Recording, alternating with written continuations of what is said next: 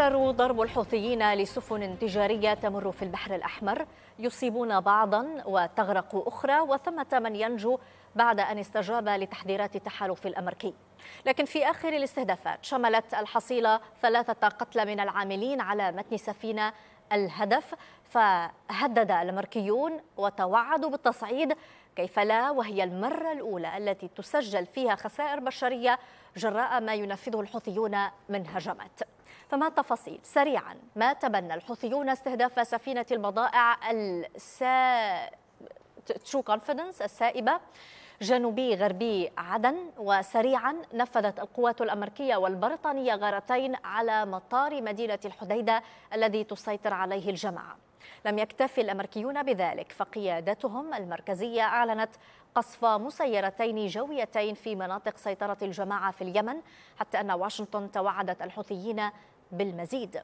وإلى أن يأتي المزيد خرج زعيم جماعة الحوثيين بنفسه ليعلن تنفيذ 96 عملية ضد 61 سفينة وذلك بعد انطلاق عمليات الإسرائيليين في غزة.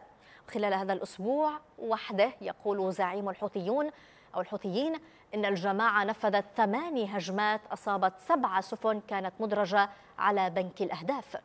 لكثيرين يبدو توقيت إعلان الحوثيين لحصيلة عملياتهم تحديا واضحا للأمريكيين وهذا أمر تدركه واشنطن. فمتحدث الخارجية الأمريكية ماثيو ميلر قال بعد الحادثة الأخيرة أنه لن تتخلى واشنطن عن هدفها بردع ومحاسبة الحوثيين لافتا إلى أن العمليات ضدهم ستكون طويلة الأمد. هم الآن يقتلون هذا ما قاله ميلر عن الحوثيين وذكر كذلك استمرار عملياتهم بأنه يهدد التجارة الدولية وسلاسل التوريد. يتسق حديثه في هذه الجزئية مع مؤشرات تدل على انخفاض حركة السفن التي تحمل المعادن والحبوب والخامات عبر البحر الأحمر بنسبة 35% قياسا بالمستويات المسجلة بداية العام. البضائع السائبة الصلبة أو الجافة. مصطلح يشمل أي مادة. يمكن نقلها من المصنع نفسه أو المنجم أو الحقل أو موقع المنشأ. يشتمل هذا النوع من البضائع على العديد من المواد مثل الحبوب بأنواعها المعادن والمواد الكيميائية الجافة مثل الأسمدة وعناصر أخرى كالملح والإسمنت وغيرها الكثير. لشحن هذه الأنواع من البضائع تستخدم ناقلات خاصة مثل السفن التجارية الكبيرة المصممة خصيصا لنقل السوائب الصلبة ولا يقتصر نوع الشحن هنا على البحري بل تتوفر أيضا شاحنات خاصة تحمل مستوعبات لنقل هذا النوع من البضائع بالإضافة إلى تخصيص قطارات مزودة بمخازن لنقلها عن طريق البر.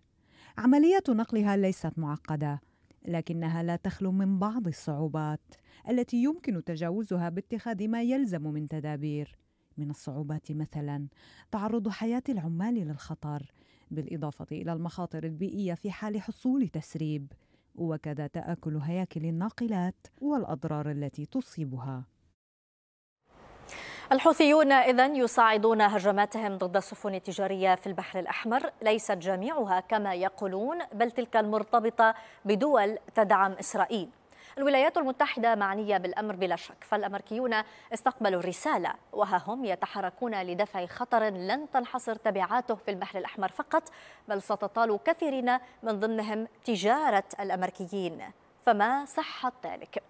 لم ينكر الأمريكيون أن تجارتهم البحرية في خطر جراء هجمات الحوثيين في البحر الأحمر هذا هو جون كيربي متحدث البيت الأبيض وهو يحذر في يناير من العام الحالي من احتمال أن يؤثر ارتفاع تكاليف الشحن على الاقتصاد الأمريكي بفعل تحويل مسار السفن من البحر الأحمر لتجنب الحوثيين. لكن علامة كل هذا الخوف يسأل كثيرون. فالاتحاد الوطني الأمريكي للبيع بالتجزئة أشار إلى أن 12% فقط من البضائع المتجهة إلى الولايات المتحدة تمر عبر قناة السويس النسبة قليلة بلا شك لكن الخبراء يؤكدون أن الوضع في البحر الأحمر يجلب التقلبات ويرسخ حالة عدم اليقين في الأسواق ما يؤثر على استقرار سلاسل التوريد العالمية ومن ضمنه الأمريكية.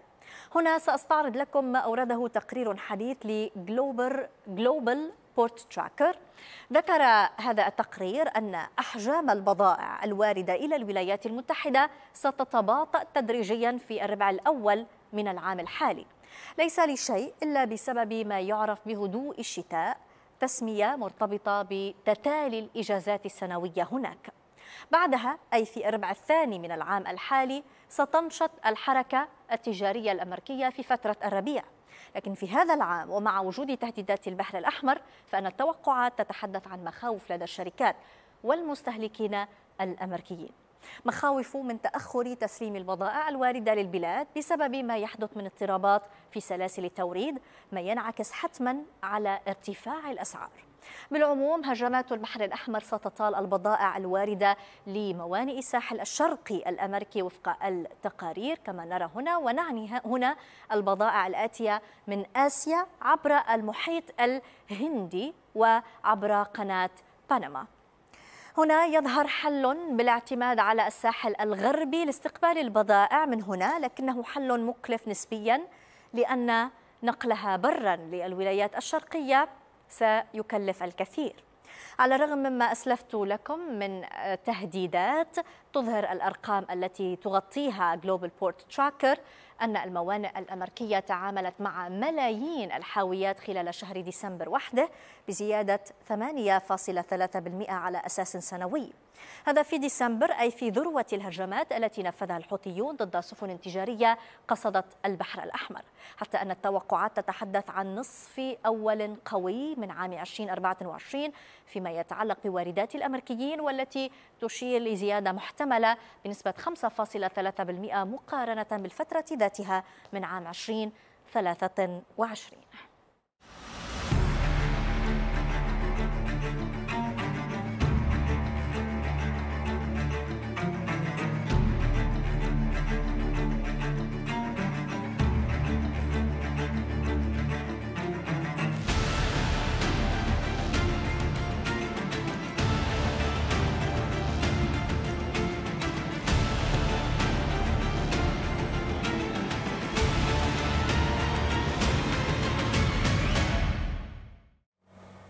عبر سكايب من واشنطن ينضم إلي السيد برنت سادلر كبير الباحثين في مؤسسة هاريتج للدراسات والمسؤول السابق في البنتاغون. أهلا بك.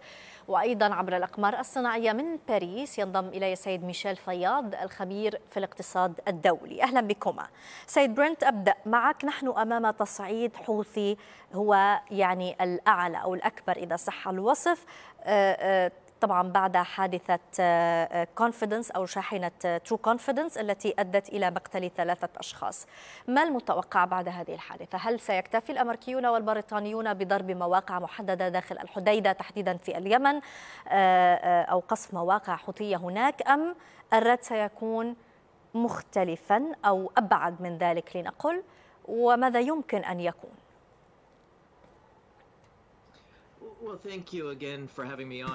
شكرا على الاستضافة. بداية علي أن أقول إنه ليس تصعيدا بحد ذاته فالحوثيون يهاجمون السفن المارة في مضيق باب المندب منذ أشهر. وكان هناك هذا الاحتمال الكبير أن يصيبوا مرة من المرات من, من ناحيتهم ويستفيدوا ويتسببوا بالإصابات. وحتى الآن برعاية إلهية لم نرى إصابات قبل هذا هذه الإزابة الإصابات والهجمات التي رأيناها الآن. ما سيأتي بعد ذلك برأيي هو استمرار للضربات الأمريكية والبريطانية وأي أعضاء آخرين في التكتل الذين انضموا الآن من أجل محاولة وقف هذه الهجمات الآتية من اليمن من الحوثيين.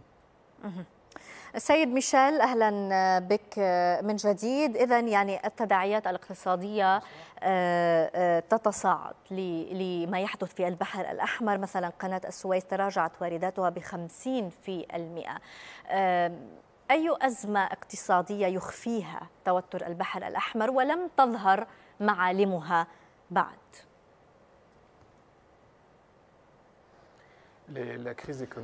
إن الأزمة الاقتصادية يمكنها أن تتطور بشكل كبير لأننا نعرف أن 40% من التبادلات بين أوروبا وآسيا تمر من عبر البحر الأحمر.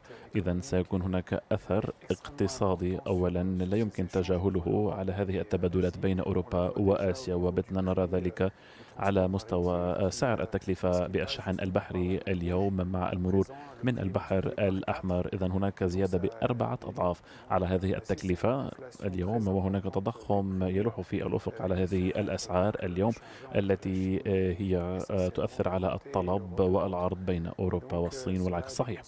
إذا هذا يؤثر بالآثار السلبية جدا. إيطاليا مثلا سبق وأعلنت على أنها في أزمة عميقة بسبب هذه الأزمة وهذه التوترات أيضا في البحر الأحمر وذلك بحد ذاته قد يتأزم بشكل إضافي وأنا لا أرى مثلا الولايات المتحدة الأمريكية أو المملكة المتحدة أنها ستدخل في حرب ضد الحوثيين لأن الحوثيين لديهم وسائل ضغط أكبر من هذين البلدين مثلا قطع الكابلات للإنترنت تحت البحر الأحمر وثم هناك أيضا وحدة الصف مع حزب الله عيش الشعب وغيرهما من الفصائل. وهذا يعني أن ربما إيران يمكنها أن تعرقل الأمور في الخليج في حال لزم الأمر. إذا قد نشهد أزمة اقتصادية عالمية أكثر كارثية حتى بالمقارنة بحرب أوكرانيا وأزمة كورونا. سيد برنت بلا شك أن الولايات المتحدة تحاول أن تضبط إيقاع هذه المواجهة أي أن تتفادى أن تتوسع هذه المواجهة تتفادى التصعيد كي لا آه، يعني آه، تتحول التداعيات إلى تداعيات كارثية أو يعني على سكيل أوسع أو على نطاق أوسع. لكن في المقابل آه، الهجمات الحوثية لا تتوقف. بل هي تتطور. بالتالي آه، هل نتوقع أن تتابع أو تواصل الولايات المتحدة استراتيجيتها نفسها آه، في في الأشهر المقبلة سيما مع الاخذ بعين الاعتبار أنه مع الوقت تتكشف تبعات اقتصادية أكبر ولهذا يعني سيكون لهذا ربما الكلمة الفصل في المستقبل. كلا ابدا. أعتقد لسوء الحظ إن هذه الإدارة والبيت الأبيض سوف يستمرون بهذه الاستراتيجية التي تعتمد فقط على ردود الفعل والتي لم تقضي أو تسيطر على هذه الأعمال العدائية في البحر الأحمر. ما هو مطلوب من أجل إيقاف هذه الهجمات الحوثية هو أن نستمر بمهاجمة قدراتهم وصواريخهم ومسيراتهم ومراكبهم الصغيرة التي يستخدمونها لإطلاق هذه الهجمات. ولكن ميشيل أسألك عن يعني تحديدا تبعات الاقتصادية على الولايات المتحدة لأن كما ذكرت قبل قليل هذه التبعات يمكن أن آه، تبدل يعني طريقة تعاطي الولايات المتحدة مع هذا الملف. قبل قليل استعرضنا التداعيات هذه في في تقريرنا وخلص التقرير إلى أنه هذه التبعات ليست حتى الآن هي ليست يعني كبيرة أو ليست كارثية على الاقتصاد الأمريكي والاقتصاد الأمريكي قادر على أن يعني يتعامل مع التداعيات الأولية تضرر سلاسل التوريد نتيجة التصعيد في البحر الأحمر هل توافق على هذه التقارير ولأي مدى تعتقد أنه الولايات المتحدة أو اقتصاد الولايات المتحدة يعني آه، مهدد بفعل هذا التوتر؟